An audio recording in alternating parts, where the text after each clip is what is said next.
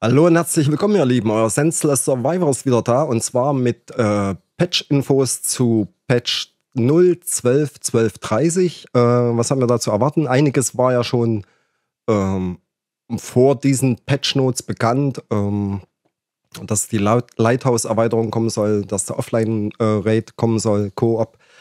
Ja, wir gucken uns das jetzt in, im Release sozusagen an, was äh, uns erwartet. Und zwar direkt mit der Lighthouse-Erweiterung. Man kann jetzt sozusagen auf die kleine Halbinsel rübergehen und den Leuchtturm besuchen. Äh, auch die Wasseraufbereitung hat neue Innenräume, neue Ausstattungen bekommen.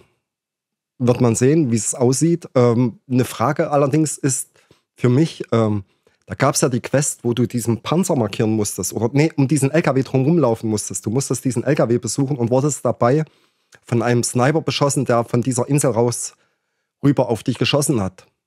Was ist damit? Spannung und Fragen über Fragen. Lassen wir uns überraschen. So, dann gibt es drei neue Bosse. Und zwar Knight.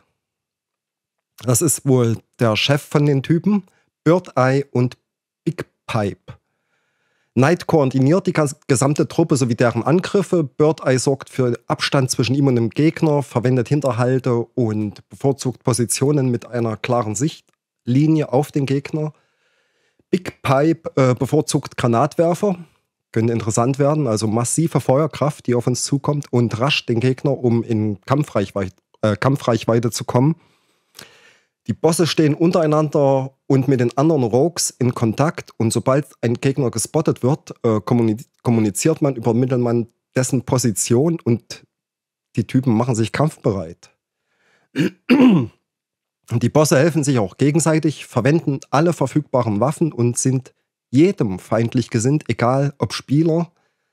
Also PMC, ob du Jusek oder Bär bist, ist egal, ob du Skev bist oder ob ein Raider über die Map rennt. Die machen alles, die wollen alles kalt machen. Äh, das Töten der Bosse hat keine Auswirkungen auf deinen Ruf, also du kannst sie ruhig getrost erschießen. Äh, lass sehen, weiter, weiter, weiter. Ach so, ja, die Bosse findet man auf Lighthouse, Shoreline, Woods und Customs. Sie bleiben dabei nicht an einem Ort, sondern wandern die ganze Zeit absolut zufällig, so soll es wohl sein, umher über die gesamte Map. Äh, es gibt keinen Timetable, wann die loslaufen, wohin die laufen und so weiter. Also wie gesagt, soll wohl absolut äh, zufällig passieren. Und die Bosse sind immer nur auf einer Map, sprich wenn die auf Shoreline sind, dann sind die nicht auf Customs, nicht auf Lighthouse und nicht auf Woods. Sind sie auf Woods, sind sie auf den anderen drei Maps nicht. Also es wird wohl nicht passieren, dass man, dass jemand einen Raid auf Customs startet und ein anderer auf Woods und dort die Bosse, dass beide dort die Bosse treffen.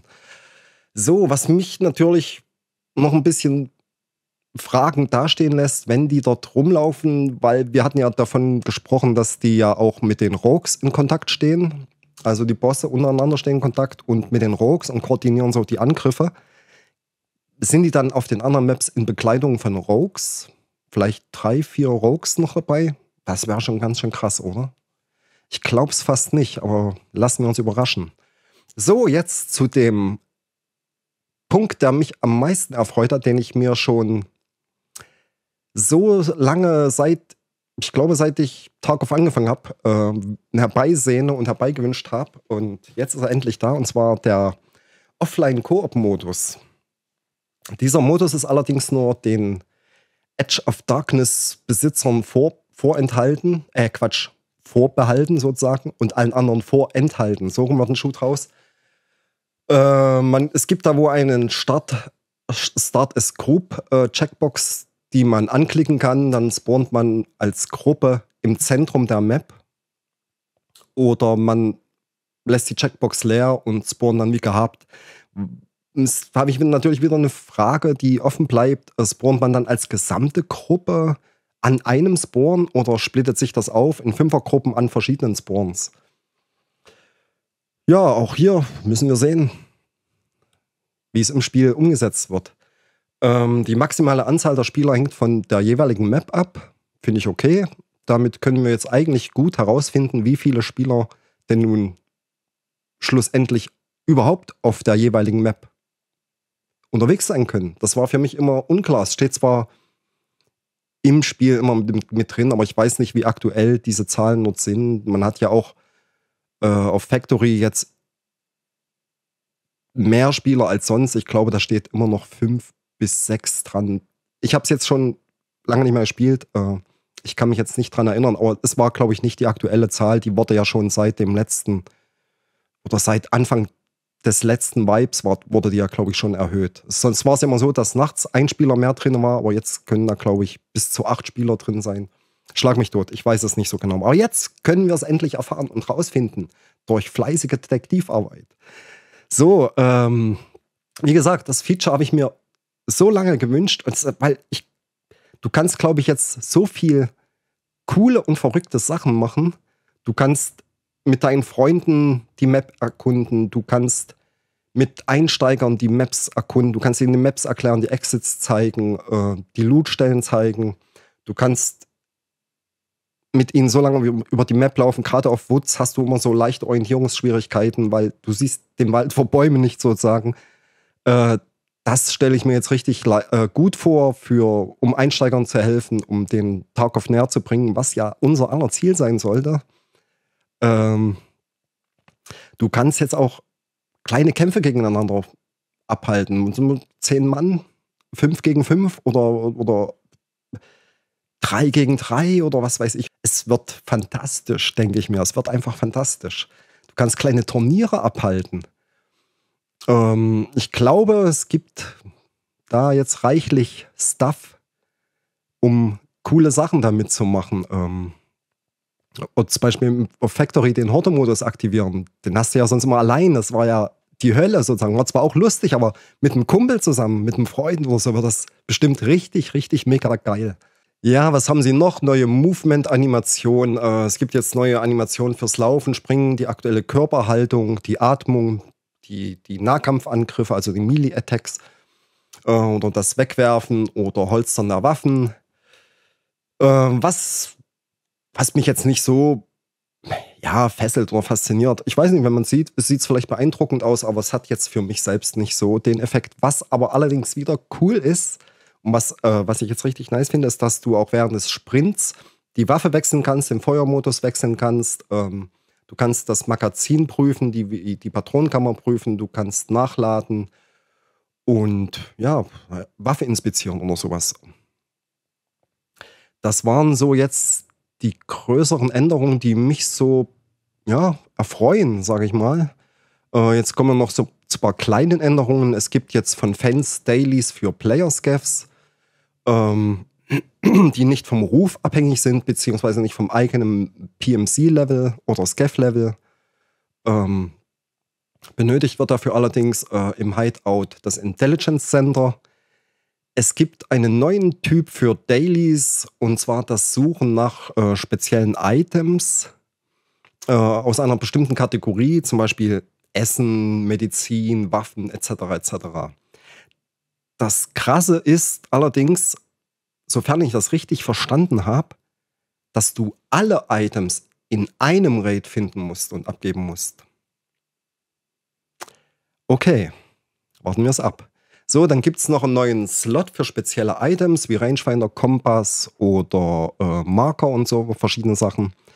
Ähm, was du in diesen Slots drin hast, behältst du auch nach dem Tod.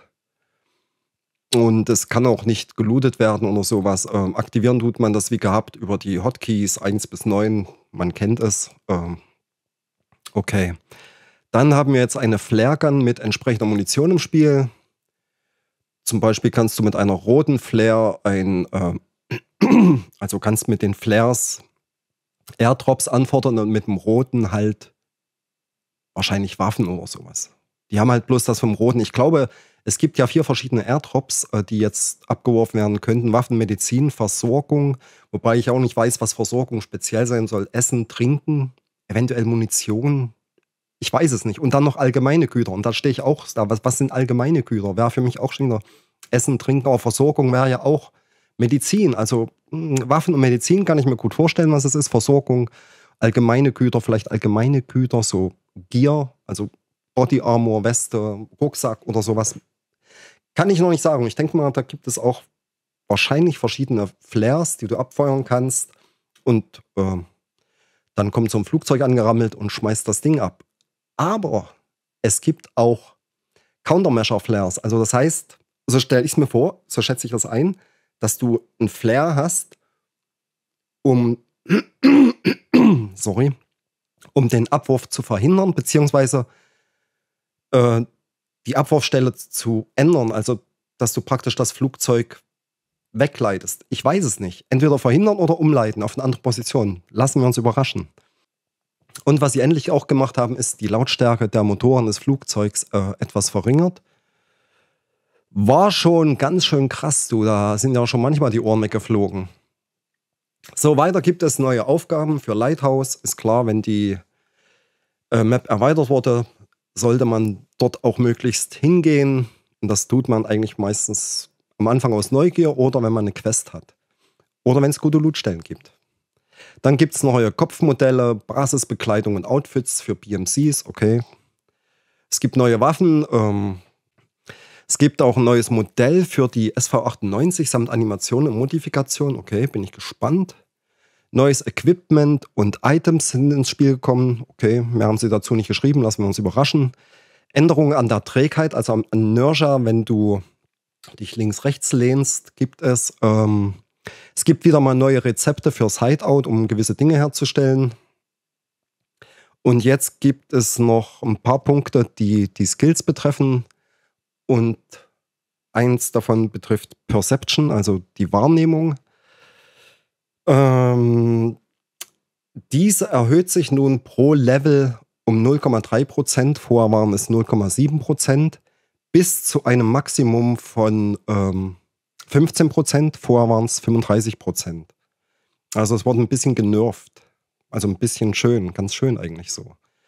Dann gibt es noch Änderungen am Skill-Metabolismus auf Elite-Level sozusagen.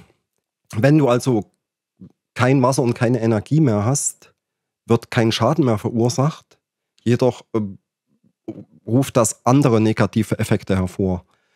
Vor, diesen Änderungen, vor dieser Änderung gab es wohl keine negativen Effekte. Weiß ich nicht, kann ich so, glaube ich, nicht unterschreiben. Also ich kann mich erinnern, also Metabolismus ist ja auch der einzige Skill, den ich auf, auf Elite-Level habe. Und ich kann mich an Situationen erinnern, du konntest so nicht mehr laufen, also dir fehlte die Stamina. Wasser und Essen nicht da war, okay, dann warst du halt auf Null und es passierte nichts. Also ich kann mich nicht erinnern, dass da irgendwo dass ich da irgendwo Schaden bekommen habe. Aber ich kann mich daran erinnern, dass halt meine Ausdauer schlecht regeneriert war. Und das ist ja ein negativer Effekt. Ich weiß nicht, was die jetzt daran geändert haben, dass zusätzliche negative Effekte hervorgerufen werden. Ah, dann muss ich mich auch überraschen lassen. So, und zu guter Letzt gibt es noch Änderungen am Skill Strength, also an der Stärke, und zwar auch auf Elite-Level. Ausgerüstete Waffen wiegen jetzt nichts. Also egal, ob du auf der Schulter hast, am Holster, äh, im Holster oder äh, am Sling ähm, wie sagt man, am Tragegurt. Äh, alle anderen Items äh, wiegen, also Items in Rucksäcken, in Rigs und so weiter, das wiegt halt ganz normal. Vorher war wohl das gesamte Equipment und Waffen gewichtsfrei. Mm, das ist natürlich, ich hatte Strengths noch nie auf Elite-Level und ich habe mir aber sagen lassen, dass praktisch die ganze linke Hälfte sozusagen, wenn, wenn du dein Inventar aufgemacht hast, die ganze linke Hälfte, also die Waffen, äh, die Body Armor, der Helm und, und so weiter, dass, dass das alles nichts gewogen hat. Nur die rechte Seite. Weiß ich nicht. Wie gesagt, kann ich nicht beurteilen, hatte ich noch nie äh, geschafft, Elite-Level. Und ja, nur so zu eurer Information, vielleicht könnt ihr damit mehr anfangen. So, dann haben wir noch ein paar kleine Bugfixes. Ähm, oder Sounds, die haben auch was an den Sounds gemacht, die haben neue Stimmen für die Bears und die Usex hinzugefügt, neue Sounds für das Movement äh, auf verschiedenen oder neue Sounds für die Bewegung auf verschiedenen Oberflächentypen, ähm, Sounds fürs Waffen hinschmeißen auf verschiedenen Oberflächentypen ähm, und ach ja, für, für Body, also wenn, wenn, wenn du zusammenklappst, wenn du erschossen wirst und auf dem Boden fällst oder sowas. Und auch noch Sounds für, für, fürs Kriechen haben sie auch noch. Also fürs, fürs Kriechen durchs Unterholz haben sie auch noch angepasst äh, oder neu hinzugefügt. Äh, dann haben sie noch eine Liste mit ein paar Bugfixes. Ähm, da hatte ich bloß mal vorhin schnell durchgeschaut. Trifft uns klar, aber ähm, manches habe ich so nie feststellen können. Ähm, äh, ja, jetzt haben sie zum Beispiel ein Perk-Icon für die Handausdauer in den Endurance-Skill hinzugefügt. Ähm, wer sich fragt, was das ist, ich kann es mir so vorstellen, man hat ja diese kleinen Icons äh, hinten rechts an, seinem, an, seinem, an seiner Skillleiste, die da sagen, dass du äh, 3% weniger negative Effekte erleidest oder, oder dass dein Recoil um 12% er, äh, verringert wird und so weiter. Ihr wisst, die kleinen und da haben sie jetzt wohl noch für, für die Handausdauer, also fürs Aimen, schätze ich mal, ähm, so ein kleines Icon mit hinzugefügt. Ähm, ja, okay. Ja, ich hatte aber was ähm, Wichtiges war es noch, was ich ihr gefunden habe. Ihr könnt euch, ich verlinke das nachher mal, dann könnt ihr euch die Bugfixes nochmal durchlesen, wen es interessiert. Ähm, wie zum Beispiel jetzt den, den MS-2000-Marker, dass der in der Luft geschwebt ist beim, beim Placen. Also hatte ich, hatte ich so nie, hatte ich noch nie erlebt so. Aber scheinbar war es wohl doch der Fall hier und da. Ähm, was war denn? Ach so, ähm, die korrekte Fenstergröße für 1029 mal 1080 Auflösung im Windows-Modus wurde jetzt ähm, gefixt oder sowas. Ähm, an den Helmen gemountete Flashlights ähm, blockieren nicht länger die Sicht, wenn du an einer stationären Waffe bist. Ähm, sie haben die Zielgenauigkeit für die TOS angepasst. Ähm, die Rogues waren wohl visuell manchmal nicht korrekt dargestellt, wenn sie hinter stationären Waffen gesessen haben. Habe ich auch so noch nie festgestellt. Ähm, was gibt es denn noch? Die Scar hat jetzt, wenn du einen 20er Mac reintust, ähm, wird die jetzt ein bisschen größer, um einen Slot nach unten. Ähm, ach so, ja, das kenne ich. Das hat mich aber auch nie gestört. Wenn du zum Beispiel im Hideout warst und äh, Escape gedrückt hast, dann gaben ja dieses Menü zum Vorschein. Das hat halt es war halt durchsichtig. Im Hintergrund hast du dann noch das Hideout gesehen und vorne hast du halt die Schrift gesehen. war jetzt auch nicht so störend, fand ich. Ähm, fixed incorrect icon anti-aliasing for big items im Stash. Also, dass sie praktisch das, das Anti-Aliasing für, für große Items im Stash angepasst haben. Das sieht wohl jetzt schöner aus. Hatte ich auch vorher nie so, ist mir auch so nie bewusst gewesen, dass das da so störend war. Ähm, Charaktertexturen wirkten, wo, wurden wohl zerstört, wenn du in den Raid geladen bist. Hatte ich auch nie gesehen. So, ach so, was ja, das ist cool jetzt. Also das, äh, sie haben jetzt die, den Weg, den Dakila in der Nacht äh, durch Factory nimmt, korrigiert.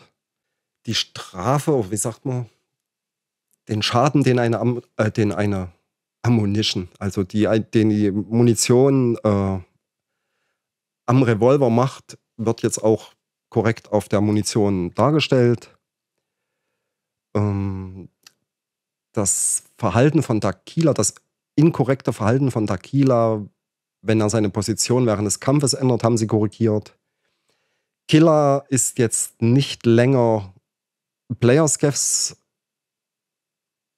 ist, also Killer ist jetzt nicht länger Players Cavs feindlich gesinnt, wenn diese einen Ruf über 6,0 haben bei Fans. Ach so, das, das Darstellen von gefalteten und ungefalteten, also auf- und eingeklappten Waffen im Stash ist, haben sie jetzt behoben. Da gab es wohl auch Schwierigkeiten. Ähm, sie haben die Wahrscheinlichkeit für das Einfrieren von Bot-Händen gefixt. Keine Ahnung, frag mich nicht. Sind den Bots die Hände eingefroren? Irgendwie? Keine Ahnung, ich weiß es nicht. Hört jedenfalls, liest sich lustig. Äh, Rogues sind jetzt äh, auch ähm, Music-Players in nachfolgenden Raids gegenüber aggressiv, wenn sie vorher einen äh, Rogue erschossen haben. Sie haben jetzt auch einige Fehler an der Berechnung der Trägheit, also Inertia, gefixt, die es Spielern erlaubten, vorher diese zu umgehen oder zu reduzieren. Gut, äh, werden wir alles sehen. Ich bin gespannt. Ich hoffe, dass ich das Video noch rechtzeitig hochladen kann, bevor der Vibe endlich losgeht. Und das, ja, das war es eigentlich so im Groben und Ganzen. Wie gesagt, die ersten Änderungen am Anfang, die ich euch vorgelesen habe, bis zu den Bugfixes. Ähm Ach so, sie haben auch noch grafische Improvements. Ähm wen das interessiert, möge es sich selbst durchlesen. Zum Beispiel AMD. Ich habe keine AMD-Karte, interessiert mich von daher erstmal nicht so. Ich, wie gesagt, ich verlinke es euch und ja, freue mich auf den Vibe. Endlich lang ersehnt.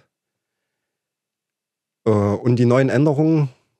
Bin gespannt, bin gespannt, bin sehr gespannt. Und der Koop-Modus, wie gesagt, das, da freue ich mich wie so ein kleines Kind drauf. Wird bestimmt lustig.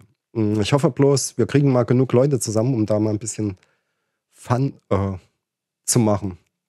Gut, dann, wir sehen uns. Bis dahin, ihr Lieben. Bleibt gesund und tschüssi, euer Senseless.